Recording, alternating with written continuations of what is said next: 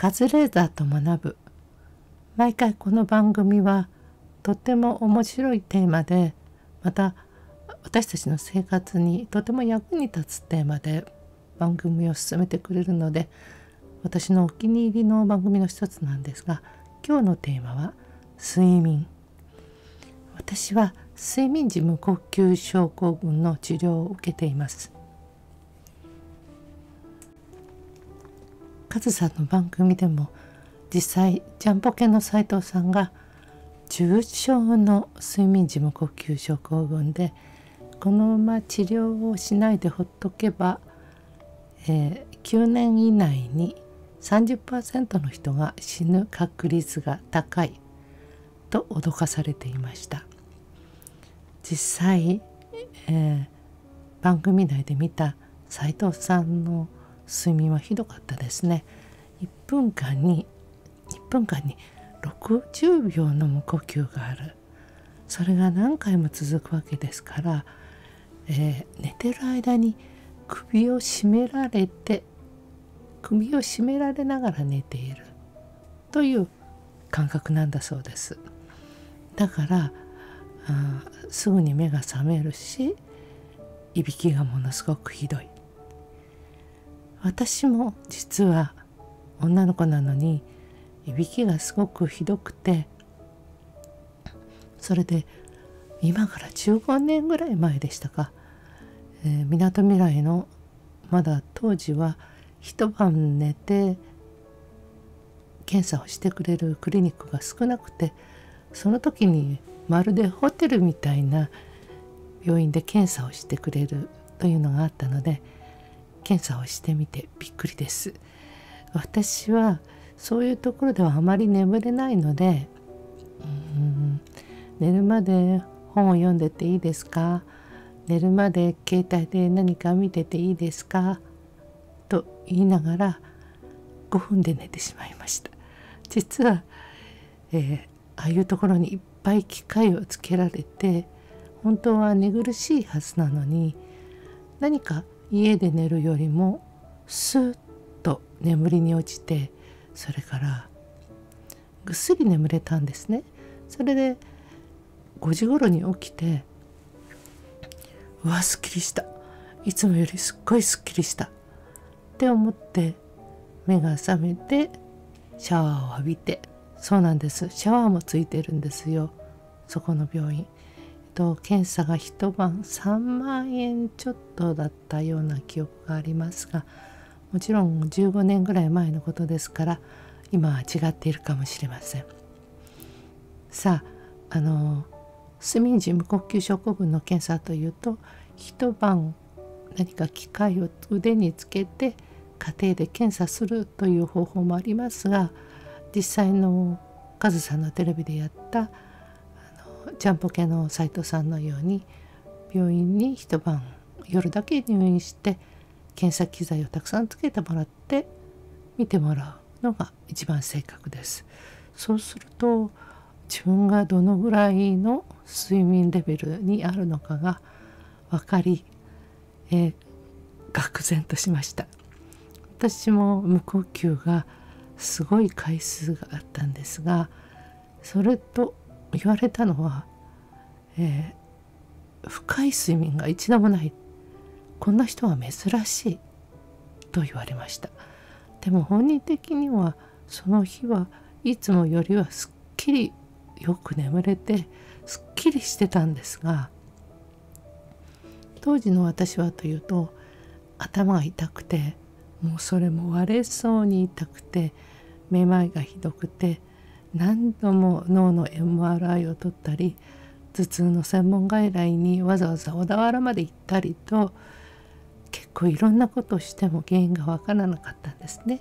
それで何かの雑誌かあるいはテレビだったかな睡眠時無呼吸症候群があるというのを聞いてやってみたらそんなにひどい状態だったのですぐにその CPAP という機材をつけて眠ることにしました実は私は割とその機械をつけて寝ることに抵抗はなくてちょっと寝づらいというかつけているからちょっと寝苦しいのもあったんですがそれで呼吸が私の止まっている呼吸がちゃんと補助されるんだと思えばそんなこと言ってられないですよね。それでやっているうちに少しずつ睡眠の質も良くなり頭痛の頻度も減っていきました。ところが私と同時ぐらいの時期にお友達のお父様が結構いびきがひどくて、えー、頭が痛いとおっしゃっていたので、えー、彼も別の病院で検査を受けたら睡眠時無呼吸症候群と言われて CPAP をつけるように勧められたんですがそのお父様はこんなもんつけて寝てられるかとおっしゃってもうすぐに拒否してしまわれました。その結果ですね。そのお父様は残念なことに1年以内に脳卒中で亡くなってしまわれたんです。そのこともあり私は CPAP は手放せなくなってしまいました。え、ジャンポケの斉藤さんに言いたいですけど、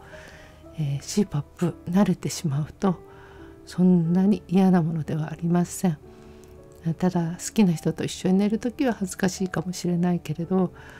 でも今では海外旅行にも持っていかないと一日もシップアップがないと不安で眠れないというような状態です。以前は大きなえー、誰に言っても分かるような大きなメーカーの、えー、CPAP を使っていたんですが今回コロナ禍になって私は病院を変えて、えー、近所のクリニックで大変親切に私の咳などを見てくれるクリニックがあったのでそちらの方に転院することにしてそうすると CPAP を扱う業者さんも変えなければならなかったのでそれはちょっと自分的には抵抗があったんですがこれがなんですよ使ってみるとこの福田電子さんの CPAP が私には合うんですよ。もう、えー、今までなんか口のそのマウスピースのところから息が漏れてたような感じがしてたのが全く漏れなくなりそしてこの写真に示すように、えっと、加湿器もあるんですね。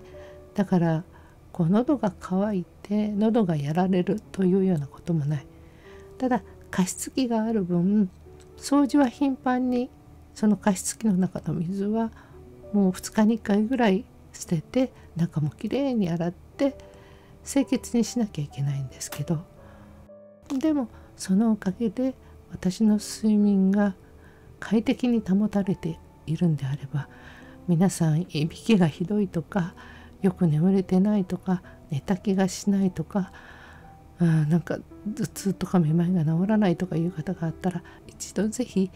入院できる形の睡眠時無呼吸の検査をしてくれる病院をお探しになることをお勧めします。また私の口には福田電子さんの CPAP があっていましたが皆さんの口にはどの CPAP が合うか分かりませんが。ということでジャンプ系の斉藤さんには怖がらないで治療を始めてほしいと思います。多分睡眠が前よりもっともっとちゃんと取れるようになりますよ。私は今寝る時にスリープマイスターというアプリをベッドのそばに置いて使っていますがちゃんと寝れていますしそして CPAP を使うと1ヶ月に一度クリニックの方へデータを持って福田電子さんの方はデータを持っていかなくても何かデータが福田電子さんの方に飛んでいってそのデータがクリニックに飛んでいくみたいで何も持っていく必要はないんですが、えー、毎回褒められています。ちゃんとよく眠れていて無呼吸もほとんどないです。すごく優等生ですと褒められています。それから番組には3人の先生がお出になっていらっしゃいました。お一人は愛知医科大学の睡眠医療センターの真野真美子先生。えっ、ー、とそうですね。先生は睡眠の状態が N1N2N3 というレベルに分類され N3 の N3 の睡眠をいかに多くとるかというのが睡眠の質を高める方法なんだそうです。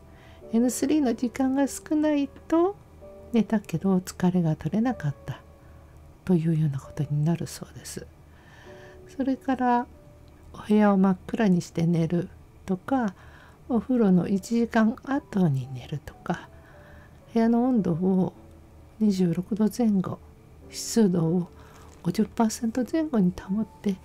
エアコンのタイマー機能を利用しないあのタイマー使うとやっぱりそれで温度が変わるので目が覚めちゃうんだそうです。だから、えー、除湿などでつけっぱなしの方がいいみたいですよ。そして真野先生がおっしゃったのにはスペインの大学の研究でノンアルコールビールを飲むとそれに含まれるホップとかギャバが質のいい睡眠をもたらすという実験結果があるんだそうです。えー、寝る前にお酒を飲みたいと思っていらっしゃる方にはこれはいいですね。ノンアルコールビール。最近のノンアルコールビールとても美味しいのでノンアルコールビールを飲むといい睡眠ができるというのだったらちょっと私もこれは試してみようかなと思います。ギャバはチョコレートなどにも入っていますけれどでもチョコレートにはカフェインが入っているのでやっぱりこれはやめた方がいいということでした。次の先生の発表がちょっと目から鱗だったんですが次の先生は桜井武先生桜井武先生は筑波大学の教授で、えー、次にもしノーベル賞を取るとすれば桜井先生じゃないか